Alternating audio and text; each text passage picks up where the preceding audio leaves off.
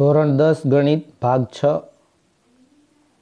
દ્વિઘાત સમીકરણ આની અંદર આપણે સ્વાધ્યાય ચાર પોઈન્ટ ચાર શીખીશું. જેમાં પ્રશ્ન એક, નીચે આપેલા દ્વિઘાત સમીકરણના બીજના સ્વરૂપ શોધો. જો તેમને વાસ્તવિક બીજ હોય, તો તે પણ શોધો. આવા ત્રણ પ્રશ્નો છે. ચાલો જોઈએ. તો એ જોતા પહેલાં તમને યાદ કરાવી દઉં, પાછલા વિડીયોમાં પણ આ છે. અને અત્યારે પણ યાદ કરાવું છું એટલા માટે કે આ ત્રણેય વસ્તુ પાયાની બાબતો છે. જો B square minus four AC એટલે વિવેચક જીરોથી મોટો હોય, તો બીજ વાસ્તવિક અને ભિન્ન હોય. જો જીરો જેવડો હોય, તો વાસ્તવિક અને સમાન હોય. અને જીરોથી નાનો હોય, તો વાસ્તવિક બીજ અસ્તિત્વ ધરાવતા નથી. આ ત્રણ વસ્તુમાંથી એક વસ્તુ જ શક્ય બને. ત્રણેય એક સાથે શક્ય નથી. ઓકે આ તમારે યાદ રાખવું જ પડશે. તો પહેલો પ્રશ્ન છે, જેમાં આ સમીકરણ છે, એમાં સરખામણી આપણે કરીએ તો એ બરાબર બે બી બરાબર માઇનસ ત્રણ સી બરાબર પાંચ, તો વિવેચક ડી બરાબર B square minus four A C આ સૂત્ર આપ જાણો છો, પાછલા વિડીયોમાં પણ છે. તો એની અંદર કિંમતો મૂકવામાં આવે. અહીંથી જોઈને તો માઇનસ ત્રણનો વર્ગ નવ અને ચાર દુ આઠ પંચા ચાલીસ પણ માઇનસ. એટલે આ બેયની બાદબાકી માઇનસ એકત્રીસ થશે, એટલે શૂન્ય કરતાં નાના થાય અને શૂન્યથી નાનું એટલે આ ત્રીજી શરત લાગે તો આપેલ દ્વિઘાત સમીકરણના વાસ્તવિક બીજ મળતા નથી. ઉકેલ પણ અહીંયા આવે તો બે સેમ જ ગણાય. બીજો પ્રશ્ન? આની અંદર પણ તમે સરખામણી કરો તો એ, બી અને સીના મૂલ્યો મળશે. એ કિંમતો અહીંયા મૂકો અને આનો વર્ગ તમે કરશો તો ચારનો વર્ગ સોળ થશે અને આનો વર્ગ ત્રણ થશે એટલે સોળ તેરી અડતાલીસ અને આનો ગુણાકાર અડતાલીસ, અડતાલીસમાંથી અડતાલીસ જશે એટલે ઝીરો. તો મિત્રો આ બીજી શરત લાગુ પડશે. તો બીજી શરત મુજબ વાસ્તવિક અને સમાન બીજ મળે તો દરેક બીજનું મૂલ્ય તમે જાણો છો કેટલું મળશે? તો આવું મળશે. એટલે આ સૂત્ર પ્રમાણે આપણે જોવાનું છે અને એ કિંમતો અહીંયા મૂકી દેવાની. એટલે એક્સ બરાબર, અહીંયા મેં સૂત્ર નથી લખેલું ડાયરેક્ટ લખેલું છે. તમે આ સૂત્ર લખી નાખજો આ. બરાબર? તો એ પ્રમાણે આ કિંમતો આપણે શાંતિથી, ધીરજથી, નિશાની સહિત મૂકવાની છે. અને બંને કિંમતો સેમ ટુ સેમ જ મળે છે. અને ચાર વર્ગમૂળમાં ત્રણ, અહીંયા બે ગુણ્યા ત્રણ, એટલે અહીંયા છેદ ઉડી જશે એટલે ઉપર બે વધશે અને આ ભૂલથી ઉડાડી નહીં દેતા, કારણ કે આ વર્ગમૂળમાં છે ને આ ખાલી ત્રણ છે. તો બે જવાબ સેમ ટુ સેમ છે, તો આ એના બીજ કહેવાય, ઉકેલ કહેવાય, મૂલ્યો કહેવાય. બરાબર? બંને સમાન ઉકેલ છે, એટલે બે જવાબ સરખા છે. હવે તમને એમ થશે, સર, તમે અહીંયા ગણતરી કરી, એ આવું છે અને ચોપડીમાં આવું છે. પણ હું તમને જણાવી દઉં કે એવું કેમ પોસિબલ છે? તો આ પાઠ્યપુસ્તક જેણે બનાવ્યું છે એ ગુજરાત બોર્ડ કે જે એનસીઆરટી. પણ મિત્રો, થોડી ઘણી મિસ્ટેકો છે જે આપણને એમ થાય કે આ લોકોને કશી ખબર જ નથી પડતી. વિદ્યાર્થી મિત્રો, આ બે વર્ગમૂળમાં ત્રણ, છેદમાં ત્રણ. મારે આવો જવાબ અને પાઠ્યપુસ્તકમાં આવો કેમ? તો સામાન્ય રીતે નિયમ એવો છે કે છેદમાં અસમય ન હોવી જોઈએ. કેવી ન હોવી જોઈએ? અસમય. તો આ તો અસમય છે.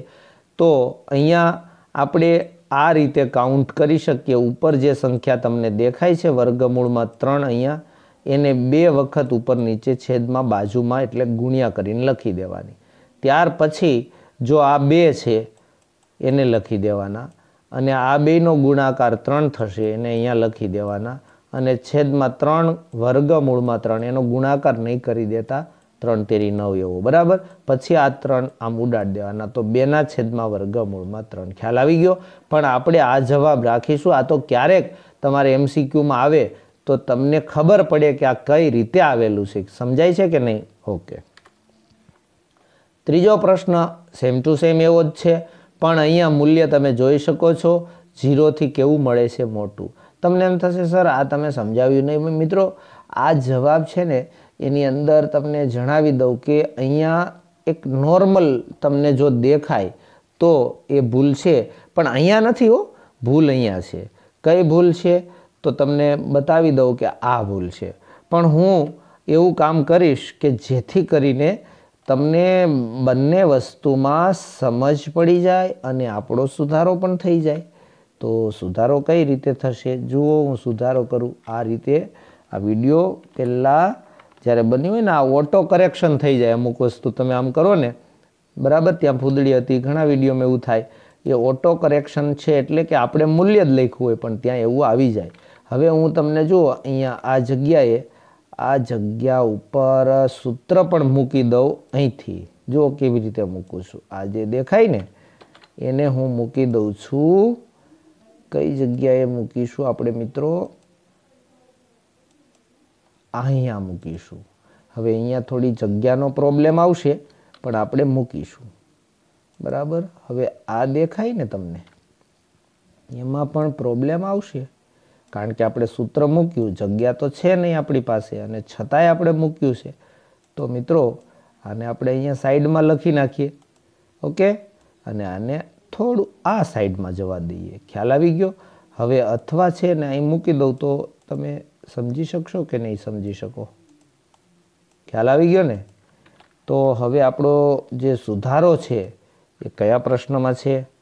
આપણે આ સ્લાઇડમાં સુધારો કરવાનો છે, મિત્રો. જોઈ લેજો બરાબર ધ્યાનથી, હં?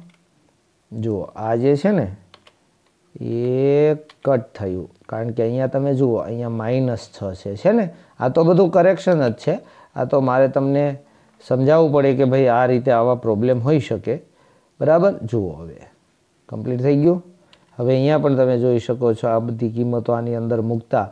પછી આપણે આવી રીતે જવાબ લાવી દીધો. અહીંયા પણ આપણે કરેક્શન કર્યું. તો આ બાર છે એ ઝીરોથી મોટા છે. એટલે વાસ્તવિક અને ભિન્ન ઉકેલ મળે અને દરેકનું મૂલ્ય જુઓ, અહીંયા ઓટો કરેક્શનમાં જોયું તમે.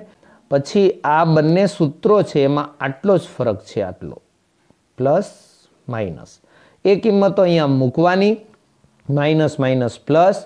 પછી આ જે છે, એમાં ચાર તેરી બાર, એમાં ચારનું વર્ગમૂળ બે અને ત્રણનું વર્ગમૂળ ન નીકળે એટલે આ ત્રણના ત્રણ. અહીંયા નથી સમજાવતો કારણ કે અહીંયા માત્ર પ્લસ માઇનસનો જ ફરક છે. બાકી સેમ ટુ સેમ છે. હવે નેક્સ્ટ સ્ટેપ જુઓ. અહીંયા ધ્યાનથી જોજો બરાબર. આની અંદરથી બે કોમન કાઢવાના બંનેમાંથી. જુઓ, બે તેરી છ અને આ બે કોમન નીકળી ગયા. સેમ ટુ સેમ અહીંયા છે.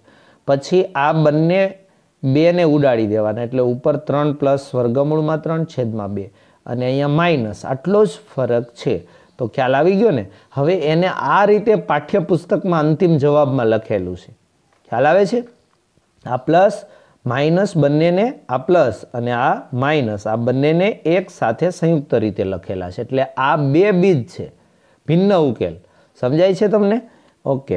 એટલે આપણે આ રીતે લખજો તમે. પાછળ પાઠ્યપુસ્તકમાં આવું હોય તો ગભરાઈ નહીં જતા. પ્રશ્ન બે, નીચેના દ્વિઘાત સમીકરણના બીજ સમાન હોય તો કેનું મૂલ્ય શોધો? મિત્રો, આ શરત છે ને, એ આગળ આવી ગઈ. મેં તમને ત્રણ શરત કીધી ને, એ શરતો તમારે યાદ રાખવી પડશે. જો બીજ સમાન હોય, તો બીજ સમાન હોવાથી વિવેચકનું મૂલ્ય થઈ જાય જીરો જો અહીંયા લખેલું છે. તો વિવેચક તો આપણે શોધવાનો જ. વિવેચક શોધાય એટલે આપણે આ સ્વરૂપનો વિવેચક છે એની કિંમત મૂકી દેવાની જીરો પછી આ ચોવીસને જમણી તરફ લઈ જાઓ. પણ ચોવીસનું વર્ગમૂળ પ્લસે હોઈ શકે અને માઇનસ પણ હોઈ શકે. કેવી રીતે? એ મારે તમને અહીંયા સમજાવવું છે. મિત્રો, બે વર્ગમૂળમાં છ. આ પ્લસ છે, ધારી લ્યો. અને આ છે માઇનસ બે વર્ગમૂળમાં છ. હવે તમે આનો વર્ગ કરો. તો આનો વર્ગ એટલે માઇનસ બેનો વર્ગ પ્લસ ચાર. અને આનો વર્ગ એટલે વર્ગમૂળમાં છનો વર્ગ થઈ જશે છ. એટલે છ ચોક કેટલા થયા? ચોવીસ. અને એવી રીતે આનો વર્ગ કરશો તો પણ કેટલા મળશે? ચોવીસ. તો મોસ્ટ ઓફ વિદ્યાર્થી અહીંયા જવાબ જે લખે છે, એ આવો લખે છે, આનું વર્ગમૂળ કે? પછી બરાબર. અને આનું વર્ગમૂળ બિચારાને આવડતું જ નથી. બરાબર? તો એ શીખી લેજો. છ ચોક ચોવીસ એમાં ચારનું વર્ગમૂળ નીકળે છે. તો ઘણા વિદ્યાર્થી એમ કે, સર, આઠ તેરી ચોવીસ, પણ આઠનું કે ત્રણનું નીકળે છે? નહીં ને. એટલે આપણે થોડુંક માઇન્ડ ચલાવવાનું છે, થોડી બુદ્ધિ ચલાવવાની છે તમારે. બરાબર? તો આ રીતે વર્ગમૂળ કાઢવાનું અને પ્લસ માઇનસ અવશ્ય લખજો. ભૂલી નહીં જતા. બરાબર છે? ત્યાર પછીનો પ્રશ્ન છે. એની અંદર પણ સેમ ટુ સેમ આવું મૂલ્ય મળે છે. એનો વિવેચક જીરો છે, કારણ કે એના બીજ, ફરીવાર તમને કહી દઉં, બીજ સમાન હોય તો વિવેચકનું મૂલ્ય જીરો જ હોય અને એ કિંમત અહીંયા મૂકી ત્યાર પછી આ બેમાંથી ચાર કે કોમન કાઢવાના છે, એટલે જેટલું નીકળે એટલું કોમન કાઢી લેવાનું અને આની અંદર વધશે કે માઇનસ સિક્સ બરાબર? તો ચાર કે બરાબર જીરો અને કે માઇનસ સિક્સ બરાબર જીરો પણ આપ જાણો છો કે બરાબર અહીંયા ચારને તમે આની છેદમાં લઈ લેશો, તો ઝીરો જ થશે એટલે કે બરાબર ઝીરો. પણ કે શક્ય નથી, કેમ કે દ્વિઘાત સમીકરણમાં A is not equal to zero આ ચેપ્ટરની શરૂઆતથી હું કહેતો આવું છું કે એ કોઈ દિવસ ઝીરો ન હોય. કારણ કઈ રીતે એની વાત આવી ગઈ આમાં? તો અહીંયા તમે જુઓ કે ક્યાં છે? આ એના સ્થાન ઉપર છે અહીંયા છે. પણ એના સ્થાન ઉપર બીજું કશું નથી એટલે કે ઝીરો શક્ય નથી. અને અહીંયા કે બરાબર છ. ત્યાર પછી કુદ પ્રશ્ન છે, જેની લંબાઈ પહોળાઈ કરતાં બમણી હોય અને ક્ષેત્રફળ આઠસો મીટર સ્ક્વેર હોય, એવી લંબચોરસ આંબાવાળી બનાવવી શક્ય છે? જો તમારો ઉત્તર આમાં હોય, તો લંબાઈ અને પહોળાઈ મેળવો. મિત્રો, પહોળાઈ એક્સ મીટર ધારી લ્યો, એટલે લંબાઈ ઓટોમેટિક ડબલ થઈ જશે બે એક્સ. અહીંયા લંબચોરસ બગીચાનું ક્ષેત્રફળ આઠસો મીટર સ્ક્વેર છે. એટલે ક્ષેત્રફળનું સૂત્ર આપ જાણો છો, લંબાઈ ગુણ્યા પહોળાઈ. આ બે કિંમતો જે છે, એને અહીંયા મૂકી દેવાની છે તમારે. અને ગુણાકાર કરતાં બે એક્સ ગુણ્યા એક્સ, એટલે બે એક્સ વર્ગ. અને આઠસો ભાગ્યા આ બગડો છે, એને છેદમાં લઈ લેવાનો, એટલે આઠસો ભાગ્યા બે, એટલે ચારસો. અને ચારસોનું વર્ગમૂળ મેં હમણાં જ તમને વાત કરી કે પ્લસ વિષય હોય, માઇનસે હોય, પણ અહીંયા તો લંબચોરસ બગીચાની વાત છે, તો લંબચોરસ બગીચામાં લંબાઈ કે પહોળાઈ કે કંઈ પણ ઋણ તો હોય જ નહીં, એટલે આ અશક્ય છે, એટલે આ શક્ય. તો આ શું હતું? તો આ હતી પહોળાઈ. તો લંબાઈ કેટલી? એના ડબલ, એટલે ચાલીસ મીટર.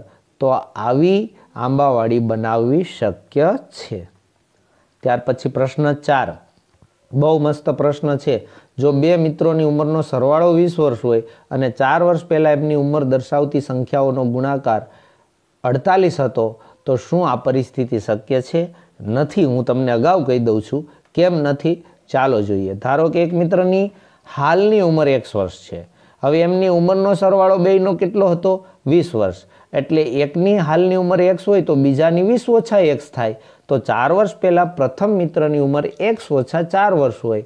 તો બીજા મિત્રની ઉંમર વીસ ઓછા એક્સ ઓછા ચાર એટલે વીસમાંથી ચાર જાય તો કેટલા વધે સોળ અને માઇનસ એક્સ આટલી હશે. હવે એમની ચાર વર્ષ પહેલાંની ઉંમરનો ગુણાકાર અડતાલીસ આ રકમમાં આપેલું છે. તો કરી દઈએ આપણે ગુણાકાર. કોનો? આનો અને આનો. ગુણાકાર કરતાં સાદુરૂપ આપતા આ બેનો ગુણાકાર સોળ એક્સ, આ બેનો ગુણાકાર માઇનસ એક્સ વર્ગ, આ બેનો ગુણાકાર ચોસઠ, પણ નિશાનીઓ ભૂલતા નહીં. આ બેનો ગુણાકાર ચાર એક્સ પ્લસ, કારણ કે માઇનસ માઇનસ પ્લસ. અડતાલીસને ડાબી બાજુ લઈ લ્યો અને આને પહેલાં લઈ લ્યો. ઘણા વિદ્યાર્થી શું કરે છે? આને પહેલાં લખે ને અહીંથી ડાબી બાજુ છે, છતાંય અહીંયા લાવે ને તોય નિશાની બદલે. કારણ કે એ આપણને એમ કહે સામે, સર, તમે કીધું હતું ને આમ ડાબી બાજુ લઈ જાઓ એટલે નિશાની બદલાય. પણ મિત્રો, ધ્યાન તો રાખો, બરાબરની ડાબી બાજુ આવે તો. આ તો ઓલરેડી ડાબી બાજુ છે જ. તો પછી ક્યાં વાત આવી ડાબી બાજુની? બરાબર? તો મિત્રો, આ બધી બાબતો હું જે બોલું છું, એ ધ્યાન રાખજો સિરિયસલી લેજો. માઇનસ એક્સ વર્ગ અને આ સોળ અને ચાર એટલે વીસ એક્સ. આ ચોસઠ છે માઇનસ, આ માઇનસ અડતાલીસ, આ બેનો સરવાળો માઇનસ એકસો બાર. પણ આપણે અગાઉના વિડીયોમાં પણ વાત કરેલી છે કે આ નિશાની ઋણ છે એને ધન કરો, ધનને ઋણ કરો, ઋણને ધન કરો, પણ ક્યારે પહેલી ઋણ હોય તો નહીતર દોઢ ડાયા થતા નહીં.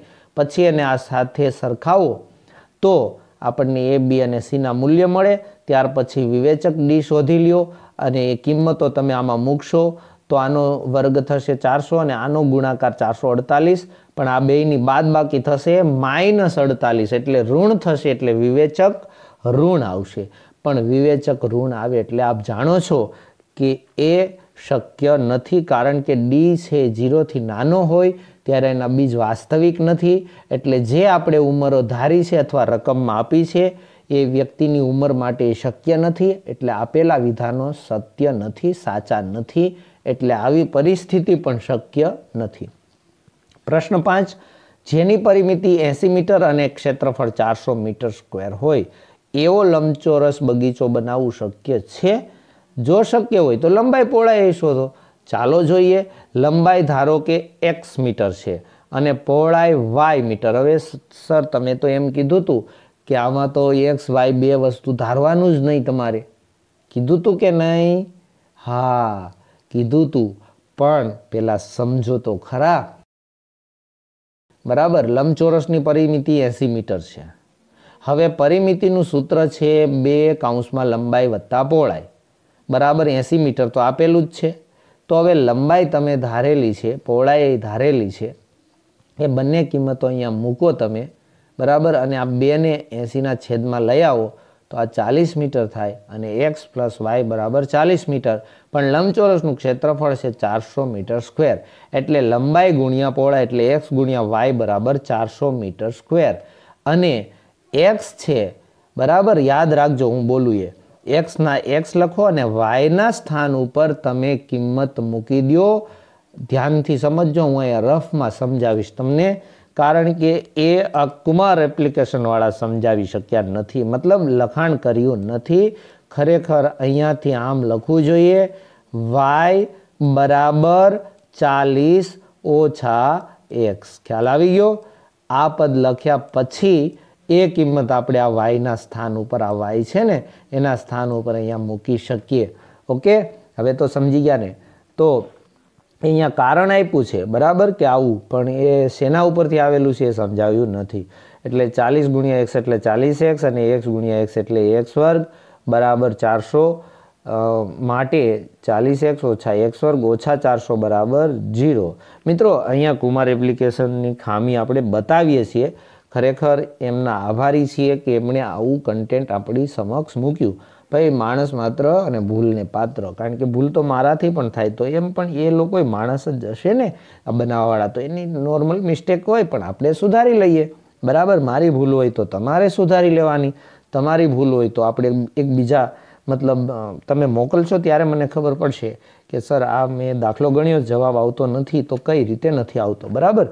તો હું સુધારી દઈશ, પણ કોમેન્ટમાં જણાવતો મિત્રો, હવે આ જે છે, અહીંયા તમે જુઓ છો, એમાં આ માઇનસ એક્સ વર્ગ છે, અહીંયા આપણે પ્લસ કરવાનું છે, પછી આ માઇનસ ચારસો છે, એને પ્લસ કરવાનું છે, પછી આ ચાલીસ પ્લસ છે, એને માઇનસ કરવાનું છે, એટલે આ રીતે પદ ગોઠવવાના અને એને આની સાથે સરખાવવાનું, એટલે એ, બી અને સીના મૂલ્ય મળે. પછી વિવેચક શોધવાનો કિંમતો મૂકીને બહુ દાખલા ગણ્યા છે આપણે આના. એટલા માટે હું ફટાફટ સમજાવું છું. માઇનસ ચાલીસનો વર્ગ સોળસો અને ચારસો ગુણ્યા ચાર ગુણ્યા એક એટલે સોળસો. આ બેની બાદ બાકી જીરો એટલે ડી બરાબર જીરો વિવેચક જીરો હોય તો એના બે સમાન ઉકેલ મળે. આર એટલે વાસ્તવિક. ખ્યાલ આવી ગયો? એને કહેવાય રિયલ નંબર. ઓકે. તો એક્સ બરાબર માઇનસ બીના છેદમાં ટુ એ. એના બે બીજ સેમ જ મળે. અહીંયા એક લખેલું છે, આપણે એક દાખલો ગણ્યો તો ખબર છે? એમાં મેં બે રીતે તમને સમજાવ્યું છે. એટલે એક્સ બરાબર માઇનસ બીના છેદમાં ટુ અને બીજું બીજે એક્સ બરાબર માઇનસ બીના છેદમાં ટુ અહીંયા લખવાનું અને બે ગણતરી સેમ ટુ સેમ ચલાવતી જવાની. એટલે બંનેના સાદુરૂપ તમે આપશો, એટલે જવાબ વીસ મળશે, એટલે બે વખત વીસ મળશે. પણ આપણે એક જ જરૂર છે, કારણ કે પહોળાઈ શોધવાની છે. વીસ મીટર અને લંબાઈ ચાલીસ છે ને, એમાંથી વીસ બાદ કરો એટલે વીસ મીટર. બરાબર? હવે તમને એમ થશે કે આવું કેમ? પહોળાઈ વીસ મીટર અને લંબાઈ વીસ મીટર, તો એને લંબચોરસ કહેવાય.